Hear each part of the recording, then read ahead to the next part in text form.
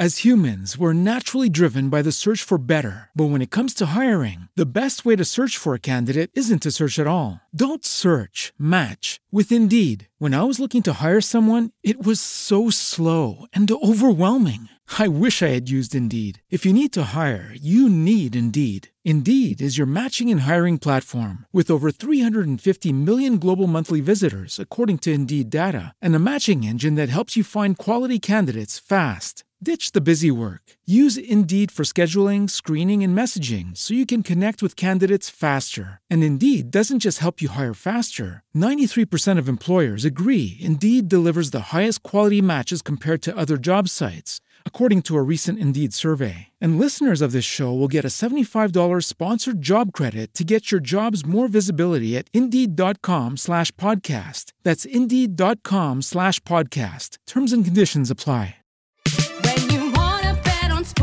Played on a field or ice or courts. Bet Rivers is the place. Over under money line, same game parlays, it's all fine. We'll put a smile on your face. Bet Rivers Sportsbook is your home for chance, where you can bet on the sports you love. Bet Rivers Sportsbook. Download the app. Take a chance. Presented by Rivers Casino Portsmouth. Must be 21 plus. Available in Virginia only. Void where prohibited. Terms and conditions apply. Gambling problem? Call 1 888 532 3500. Now for our story. Bill Meade, having determined to get the matter of his divorce and custody of his baby son settled, or at least on the way to being settled, has gone over to see his attorney, Angus McKillop. From everything he'd understood in regard to his relationship with his wife, Kit Meade, Bill had been very hopeful of winning should he file suit for divorce, asking custody of the baby he believed to be his son. But Angus McKillop had surprised and alarmed Bill very much when he said, I'm afraid you haven't the ghost of a chance, lad. No, the best thing for you is to tell Ben Calvert you're not going to fight for your child. Tell him you'll accept his offer, give up the child in return for an uncontested divorce. But, Mr. McKillop, I can't do that. As I see it, you have no other choice. Well, then I am in a spot. You are indeed. But you don't understand. You see, I've already given Mr. Calvert my answer. What? Yes, I told him several days ago that I absolutely wouldn't accept his proposition, that I'd fight the thing through. So you put your thick head in a noose, did you? Look, lad, you'd better run along now. You need a magician, not a lawyer. Oh, but wait a minute, Mr. McKillop. I thought. Uh, thought, did you? You'd be a lot better off if you wouldn't try. I'm your lawyer, and I'll do the thinking for you. I'm sorry. Uh, being sorry doesn't help. People are always sorry after it's too late. I, I don't know why I like you, but I do. Well, let's see what can be done about it. Now, give me the facts. Start from the beginning. The beginning? Certainly. You mean you want me to tell you the whole story of my marriage? Yes. Well, let's go along. Never mind. Just you recite the whole tale of woe. If I can stand listening, you can stand the telling. Okay. And don't pretty it up, lad. It's the black side which reveals the reasons. Now give it to me straight. Yeah. Well, gosh, I hardly know where to begin. There's only one place to begin. At the beginning. Well, you see, when I met Kit, I mean, before I met Kit, I was in love with Peggy Douglas. I see. So naturally, you went off and married Miss Calvert. That makes a lot of sense. Well, that's the trouble. It sounds like such a crazy thing to do. And it was. I don't quite know how to explain it to you, except that I was, well, sort of green. Now I look back on it, I realize that Kit put on quite a campaign. I still don't know why she was so determined to marry me. Uh, that's easy enough. Did you ever hear of the law of supply and demand? Sure. But I don't see what that's got. A commodity's value increases in proportion to the demand for it. Now, you're a commodity. But there's only one of you, and there are two lassies. It enhances your value. Have you ever noticed the women buzzing around the bargain counter? Uh, That's not very flattering, but it sounds pretty reasonable. Nature's laws aren't flattering, just inevitable, lad. Inescapable. Yeah. Well, anyhow, Kit had this idea that she wanted to marry me. She used all her, her femininity. I guess you know what I mean. I believe I follow you. I may be a confirmed bachelor, but I know plenty about the power of a woman. That's why I'm a bachelor. Well, I'm not trying to whitewash myself. I know I was at fault, if only because I ought to have had better sense than to let Kit get me involved the way she did. I've certainly learned a lot since then. Not that it'll do me much good now. Peggy's engaged to another man. I, I've heard. Yeah, Nicholas Dorn. All right, then. Ben Calvert's daughter used her feminine charms, you forgot temporarily about your love for Peggy Douglas. And Kit and I were married secretly in Chicago. So the fat was in the fire. Yeah. And then, just after we returned to Wakefield, I learned something. Something which upset me terribly. Eh, what was that? Well, someone who was supposed to be a friend of the Calverts told me something I should have known long before. That Mr. Calvert had taken great care to keep me from finding out. It seemed that there was a very good reason why it would be best. Well, that is, there was something in Kit's background which meant she shouldn't try to have a child. But it might not be healthy. I understand. But you see, it was too late by the time I found out. They'd already been married. I realized that the marriage was a mistake even before this person told me about Kit's background. Then I was so sorry for her, I felt it would be too cruel to leave her. So you decided to stick it out and try to make a go of it. That's right. Well, things just sort of drifted along, getting a little worse all the time. I couldn't give her the sort of life she wanted, and she wasn't content with what I could offer her. She began insisting that we move into her father's house. I refused, and that made her angry. Well, we began quarreling more and more. Finally, it reached such a point that I knew there was no answer but a divorce. I told her so. What did she say? Well, you see, by then she'd learned that she was going to have a child.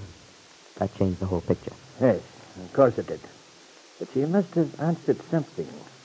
Did she agree that the marriage had failed? Well, she told me she was going away until after the child was born. Asked me to wait until she returned. She told me that we'd work out something then. But she did say she realized as much as I did that we couldn't go on the way we had been. So she went away. The letters never said much. I kept hoping that when she came back we could clear the thing up.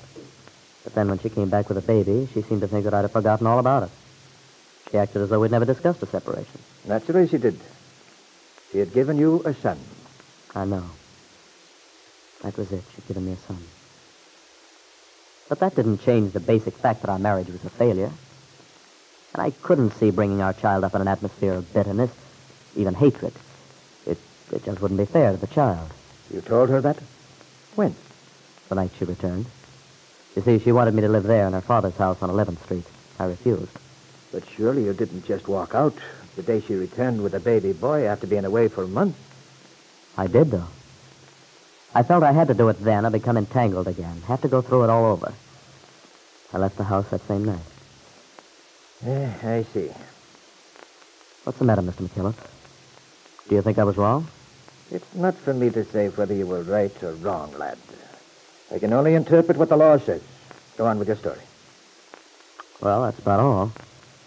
I guess the letter isn't very important to anyone but me. What letter?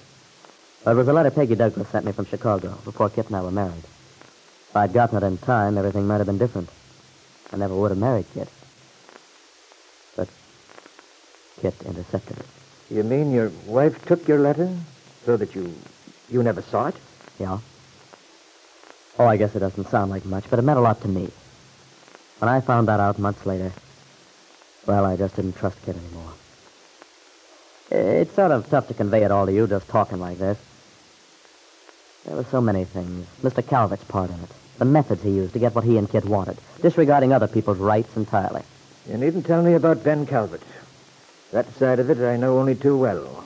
Fifteen years as an attorney in this town have taught me all I need to know about him. Well, I guess that's about all there is to it. Up to Mr. Calvert's making me the offer and my refusing it. You still think I haven't a chance? Not unless they change the laws of the land. Everything's against you.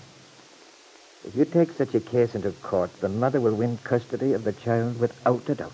But I've told you, Kit doesn't want the baby. She said so. The only reason she wants him is to keep me from having him. That may be, but you have no grounds, lad. You need to have a basis, and you have none. You think I'd lose everything? The baby and... I fear you would. And that's why I say you'd have done much better to accept Ben Calvert's offer. That way you'd have your freedom at least. Oh, but I can't believe it. It's so crazy. It's the law. And it's not as crazy as you think. In this case, it may well be that, that right's on your side, but suppose it weren't. Suppose you had a loving, faithful, devoted wife, and you'd simply grown tired of her and wanted to skip out. Would it be just then for you to sail off and divorce her and take her only child from her? No. No, of course it wouldn't. Ah, there you are, then. That's the reason, lad. From a legal standpoint, you have to show good reason. You have to have ground. And, lad, you haven't a one that would stand up in the courts. You haven't even a basis for divorce, let alone taking that baby away from its mother. But Bill didn't know, and neither did his lawyer, that the baby boy was not the child of Kit Meade, and that Kit herself had no legal claim on him. And the baby's true mother, Lisa Fenner, for whom Kit Meade had taken him by deception and trickery, was at that moment walking out of a hotel room in Chicago. And in her handbag, there was a railroad ticket to Wakefield.